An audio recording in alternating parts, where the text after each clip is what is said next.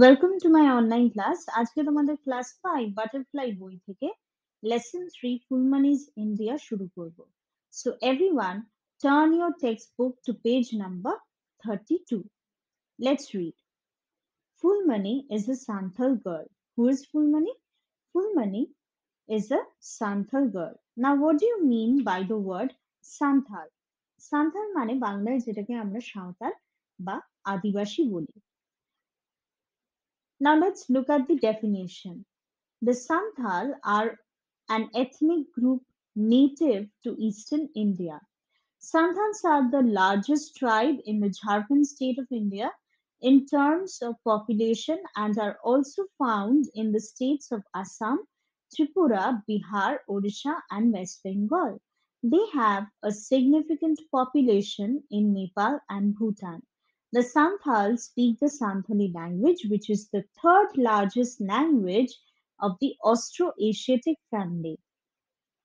অর্থাৎ ওরা হচ্ছে নেপাল বাংলাদেশ আর উত্তর পূর্ব ভারতের লোকাল গ্রুপ অফ পিপল বা আদিবাসী বলতে পারো সাঁওতালদের lifestyle food habits clothes tradition culture language সবই আমাদের থেকে আলাদা হয়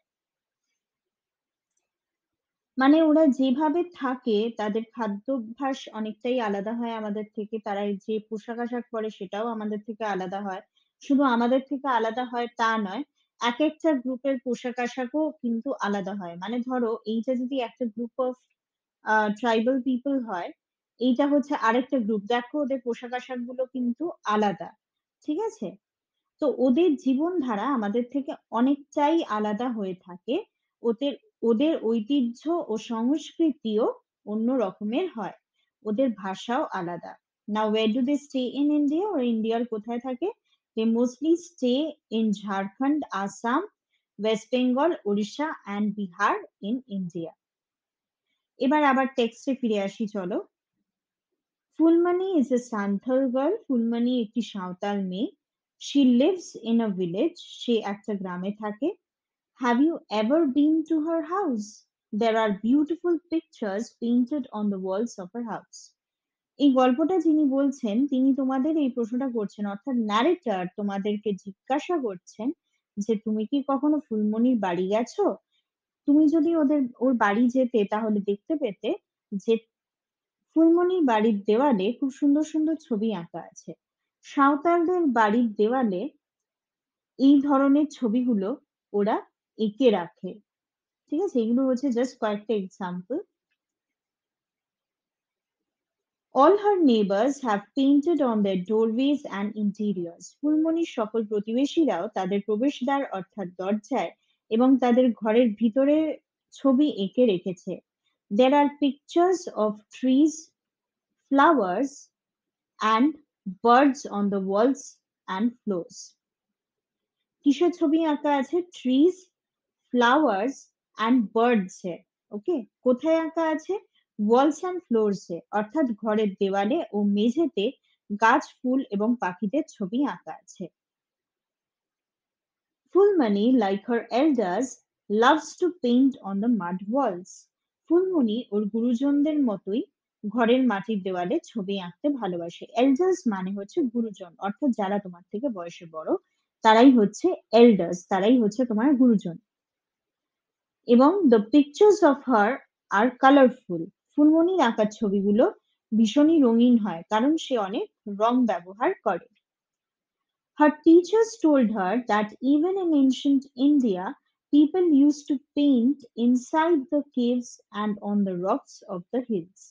ফুলমণি টিচাররা বলেছিলেন যে প্রাচীন ভারতেও মানুষেরা গুহার ভিতরের দেওয়ালে ও পাহাড়ের গায়ে ছবি আঁকতো। কীভাবে ছবি আঁকতো? তখন তো পেন বা রং ইত্যাদি এগুলো কিছু ছিল না এবং ওরা সেগুলোর ব্যবহারও জানতো না। তাহলে কীভাবে ছবি আঁকতো? ওরা গুহা এবং পাথরের গায়ের উপর খোদাই করতো এবং ওটাতেই ওরা ছবি আঁকতো। ঠিক আছে? The rock paintings of Bhimbetka are more than 20,000 years old. Bhimbetka হচ্ছে মধ্যপ্রদেশে অবস্থিত একটি জায়গার নাম এবং এখানে একটি রক শেল্টার আছে যেটি ভীষণই বিখ্যাত সারা বিশ্বে কীভাবে জানো সেটা হচ্ছে একটি প্রত্নতাত্ত্বিক সাইট হিসেবে এই স্থানটা বিখ্যাত। এই স্থান থেকে এমন কিছু তথ্য বা চিহ্ন পাওয়া গেছে যেটা প্রমাণ করে যে বহু বছর আগে সেই প্রাচীনকালে এখানে মানুষজন এখানে আগে বসবাস করত এবং সেই কারণে জায়গাটাকে বিশেষভাবে সংরক্ষিত করা হয়েছে। এবং ভীমবেটকা কেন বলা হয়েছে জানো? ভীমবেটকা বলা হয়েছে এই কারণে কারণ এটা একটা বিশ্বাস আছে আরকি।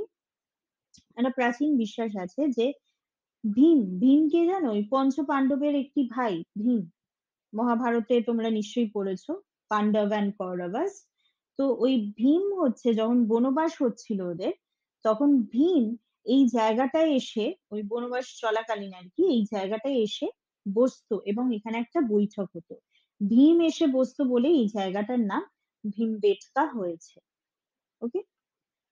যাই হোক আবার টেক্সটে ফিরে আসি। The rock paintings of Bhimbetka are more than 20,000 years old. ভীমবেটকার রক পেইন্টিংগুলো অর্থাৎ পাথরের গায়ে আঁকা ছবিগুলো প্রায় 20,000 বছরের চেয়েও বেশি পুরনো। এই যে এই জায়গাটা হচ্ছে ভীমবেটকা কেভ। ঠিক আছে? এবং এইটা হচ্ছে রক শেল্টারের ছবি এবং এই পাথরের গায়ে ছবি আঁকা থাকতো। এখানটা যদি তোমরা একটু ভালো করে লক্ষ্য করো দেখবে ছবি আঁকা আছে এবং ছবিটা খানিকটা এরকম। ঠিক আছে? এই ছবিগুলোর বয়স হচ্ছে প্রায় 20,000 বছরের চেয়েও পুরনো। They are red white green or yellow in colour এই রক পেইন্টিংগুলো লাল, সাদা, সবুজ বা হলুদ রঙের ছিল। ফুল Fulmani has never been to Bhimbetka to see the rock paintings of ancient men. এই প্রাচীন মানুষদের আঁকা রক পেন্টিংস বা প্রস্তর চিত্রগুলো দেখতে ফুলমণি কখনোই ভীমবেটকা যায়নি। But she has heard stories about the famous rock paintings from her teacher কিন্তু ফুলমণি ওর টিচারের থেকে এই বিখ্যাত রক পেন্টিংস এর কথা শুনেছে। One day her teacher showed her a picture she came to know that it was the picture of a very famous cave painting of our country. একদিন ফুলমণির teacher ওকে একটা ছবি দেখায়। ও তখন জানতে পারল যে সেই ছবিটা হচ্ছে আমাদেরই দেশ অর্থাৎ ভারতের একটি বিখ্যাত গুহাচিত্র। Do you want to see the picture? তুমি কি সেই পেইন্টিংটা দেখতে চাও? সেই ছবিটি দেখতে চাও? Here it is. এইখানেই দেখো, এই সেই ছবি। তোমাদের বইতে ডান দিকে যে ছবিটা দেওয়া আছে, এই ছবিটাই ফুলমণির টিচার ওকে দেখিয়েছিল। এটাই হচ্ছে আমাদের দেশের সেই বিখ্যাত গুহাচিত্র। কেভ পেইন্টিং মানে হচ্ছে গুহাচিত্র। This is one of the paintings found in the Ajanta caves. এই ছবিটা হলো অজন্তার গুহার ছবিগুলির মধ্যে একটি। ঠিক আছে? এবার what are a what is Ajanta caves? This is the Ajanta caves. Ajanta and Ellora caves ভীষণভাবে বিখ্যাত। তোমরা আশা করি জানো এবং এখানে এই ধরনের চিত্রগুলো আছে এই গুহার গায়ে। It is a fresco. এবার এই যে এই ছবিগুলো যেগুলো আঁকা আছে এগুলোকে fresco বলে। What is a fresco? A fresco is a type of wall painting. The term comes from the Italian word for fresh because plaster is applied to the walls while still wet. Fresco অর্থাৎ প্রাচীর চিত্র বা আরও সহজভাবে বলতে গেলে দেওয়াল চিত্র যেটা। প্রায় ২০০০ বছর আগে কয়েকজন ভারতীয় শিল্পী অজন্তা ইলোরা গুহার ভিতর, অর্থাৎ দেওয়ালে, ছবিগুলো এঁকেছিলেন। ঠিক আছে?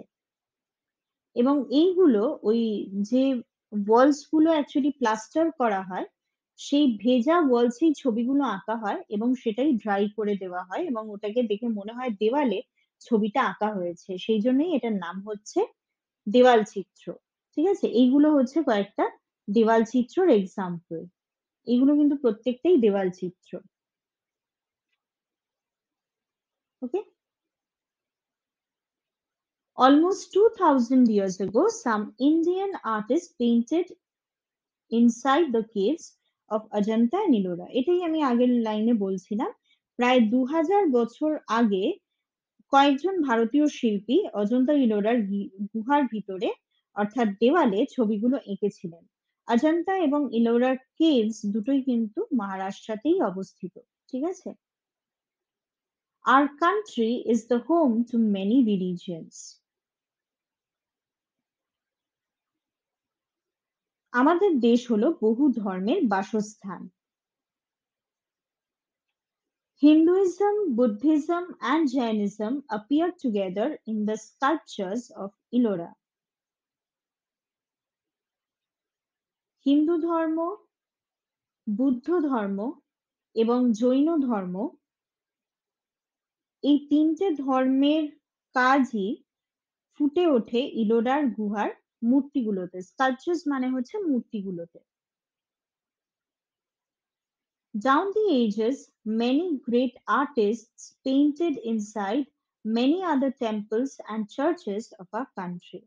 এই সময়কালের পরেও যুগ যুগ ধরে আরও অনেক মহান শিল্পীরা বহু মন্দির ও গির্জার ভিতর তাদের ছবি এঁকেছিলেন next page Little Fulmani is surprised to know that many of the Indian dance forms started within the temples. ছোট ফুলমণি অবাক হয়ে যায় যখন সে জানতে পারে যে বহু ভারতীয় নৃত্যের উৎপত্তি বা সূচনা শুরু হয় কিন্তু মন্দির থেকেই Phulmoni is a natural dancer. She loves to dance to the rhythm of the drum like all other members of her community. ফুলমণির ভিতর থেকেই কিন্তু নাচটা আসে, তার নাচের ক্ষমতাটা ভগবান দত্ত। জন্ম থেকেই এই ট্যালেন্টটা আছে তার। সে নিজে থেকেই খুব ভালো নাচতে পারে। সে মাদলের ছন্দে নাচতে ভালোবাসে তার সম্প্রদায়ের সম্প্রদায়ের অন্যান্য সদস্যদের মতনই okay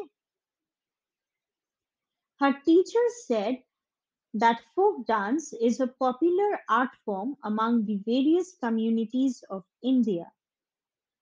ও টিচার ওকে বলেন যে ভারতের বিভিন্ন সম্প্রদায়ের মধ্যে লোকনৃত্য হলো একটি জনপ্রিয় শিল্প। দ্য পাঞ্জাবিজ লাভ দ্য ভাংড়া ডান্স এটা হচ্ছে ভাংড়া ডান্সের ছবি, আমি এখানে দিয়ে দিয়েছি। যেমন পাঞ্জাবিরা ভাংড়া নাচ ভালোবাসে।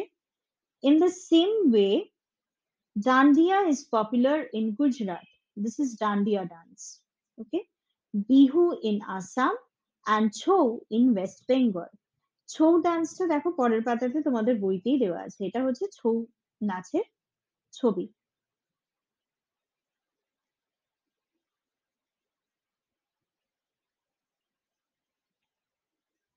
Fulmani loves to watch Chou dance performed during festivals. The performers wear masks, they shake their heads and jump in the air in harmony with music.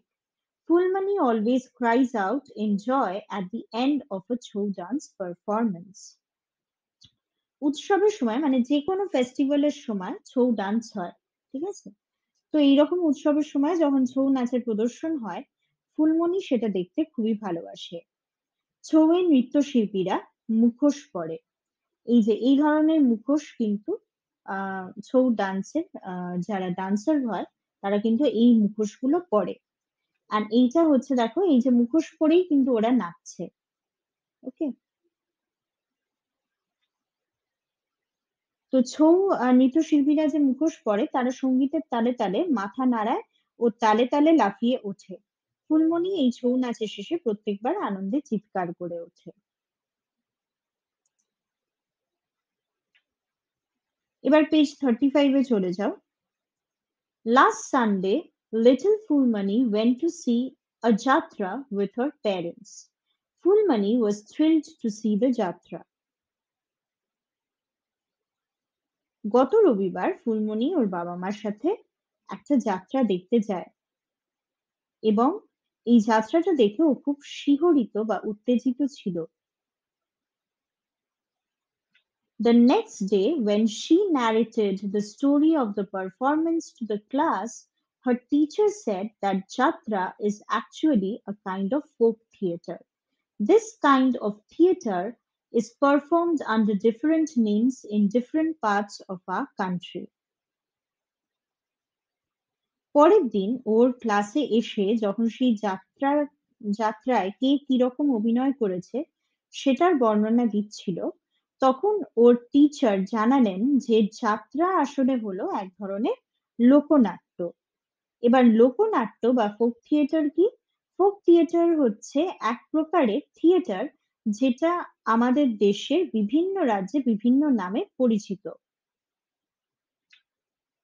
It is called Tamasha in Maharashtra, Nautanki in North India and Jatra in Bengal. যেমন মহারাষ্ট্রের folk থিয়েটারকে তামাশা বলা হয়, north India অর্থাৎ উত্তর ভারতের folk থিয়েটারের নাম হচ্ছে নটঙ্কি আর বেঙ্গল অর্থাৎ আমাদের রাজ্যের ফোক থিয়েটারের নাম হচ্ছে যাত্রা। ঠিক আছে? These are the pictures of the folk theatres in different parts of a country Most of these folk theatres are based on mythological incidents or characters. বেশিরভাগ ফোক থিয়েটারই পৌরাণিক ঘটনা বা পৌরাণিক চরিত্রের উপর ভিত্তি করে হয় যেমন ধরো রামায়ণ বা শ্রীকৃষ্ণের কাহিনী মহাভারত এসবের উপরই যাত্রা হয়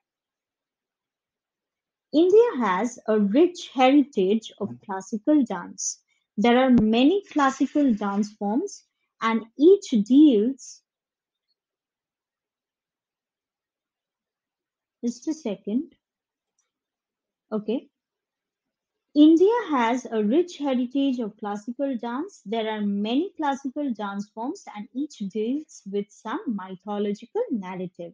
ভারতের শাস্ত্রীয় নৃত্যের একটা সমৃদ্ধ ঐতিহ্য বা পরম্পরা আছে শাস্ত্রীয় নৃত্যের বিভিন্ন ধরন বা রূপ আছে এবং প্রত্যেকটা ধরনই একে অন্যের থেকে আলাদা এবং প্রত্যেকটা নাচের এই প্রত্যেকটা ফর্ম কোনো একটা পৌরাণিক ঘটনার বর্ণনা করে The dancers wear colorful dresses and dance in harmony with music. নৃত্যশিল্পীরা ভীষণ কালারফুল মানে রঙিন পোশাক পরে ও সুরের তালে তালে খুব সুন্দরভাবে ছন্দের সাথে নাচে Dramatics is an essential part of the Indian classical dance tradition. ভারতীয় শাস্ত্রীয় নৃত্যের একটি অবশ্যম্ভাবী অংশ হল ড্রামাটিক্স অর্থাৎ নাটকীয়তা। Kathak is a dance of North India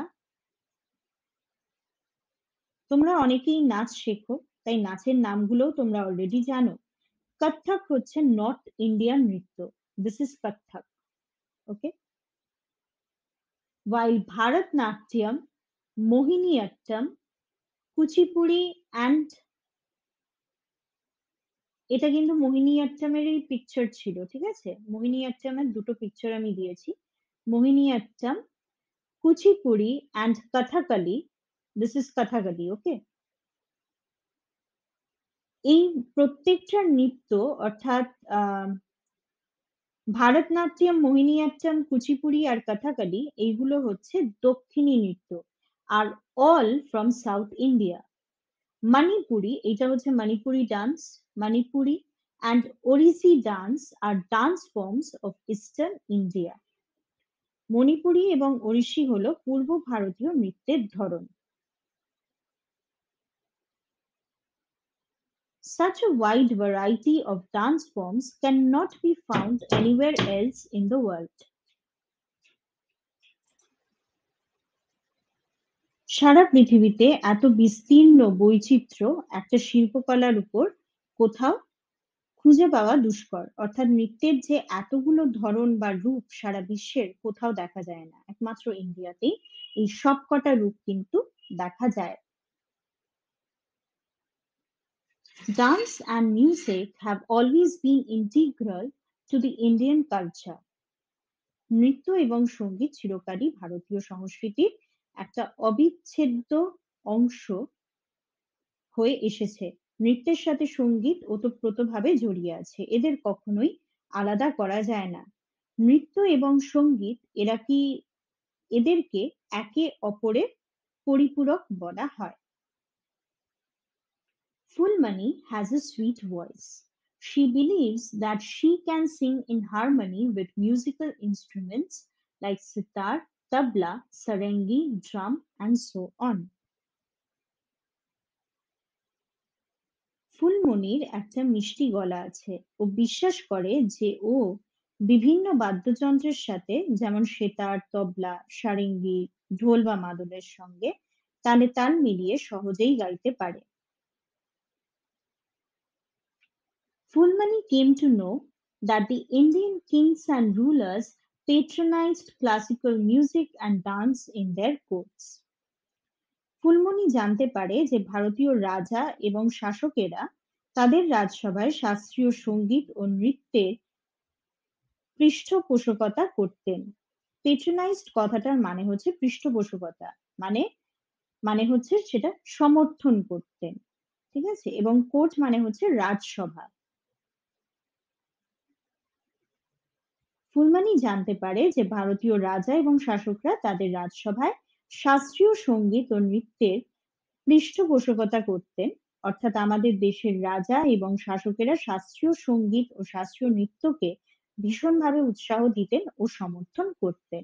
Clear emperor Akbar love to listen to the songs of Tansen সম্রাট আকবর তানসেনের গান শুনতে খুবই ভালোবাসতেন। Our country is so big that we have many different styles of classical music like Hindustani and Carnatic. আমাদের দেশটি এতই বড় যে আমাদের শাস্ত্রীয় সঙ্গীতের বিভিন্ন স্টাইল আছে যেমন হিন্দুস্তানি এবং Carnatic Each of these styles grew in temples and developed down the ages. এই প্রত্যেকটা সঙ্গীতের ধরন মন্দিরে শুরু হয় এবং যুগ যুগ ধরে ভবিষ্যতে আরো সমৃদ্ধ হয়েছে Fulmani is proud to be an Indian. She has heard that our country is full of great monuments, forts, and wonderful architecture. She has seen the picture of the Taj Mahal. It is one of the seven wonders of the world. Phulmoni ভারতীয় হয়ে গর্বিত। ও শুনেছে যে আমাদের দেশ অনেক দেশে অনেক বিখ্যাত স্মৃতিসৌধ, দুর্গ ও চমৎকার স্থাপত্যে পরিপূর্ণ। ও তাজমহলের ছবি দেখেছে এবং তাজমহল হলো পৃথিবীর সপ্তম আশ্চর্যের মধ্যে একটি। The fort at Agra and the Red Fort in Delhi are also worth seeing. আগ্রার দুর্গ this is the Agra Fort ঠিক আছে এবং দিল্লিতে লাল কেল্লাও দেখার মতো this is the Red Fort in Delhi The huge gateway or Buland Darwaza built by Emperor Akbar at Fatehpur Sikri is also among the monuments that Fulmani wishes to see. এইটা হচ্ছে বুলন্দ দরওয়াজার ছবি এবং এটি সম্রাট আকবর তৈরি করিয়েছিলেন। সেটার প্রবেশদ্বার ভারতের বিখ্যাত স্মৃতিসৌধগুলির মধ্যে একটি যা ফুলমানি দেখার ইচ্ছা রাখে, বুলন্দ দরওয়াজা ফতেপুর সিক্রিতে অবস্থিত। এবং এটাকে হিউজ গেটওয়ে কেন বলা হয়? কারণ এটা ভীষণই বড় আর কি। তোমরা দেখতেই পাচ্ছ ছবিটা, ওপর থেকে দেখতে এরকম লাগে। অ্যান্ড এটা বেশ বড় একটি প্রবেশদ্বার। যেটাকে বুলন্দ দরওয়াজা বলা হয়। ওকে She hopes that someday she will be able to travel all over India and see all the fascinating monuments.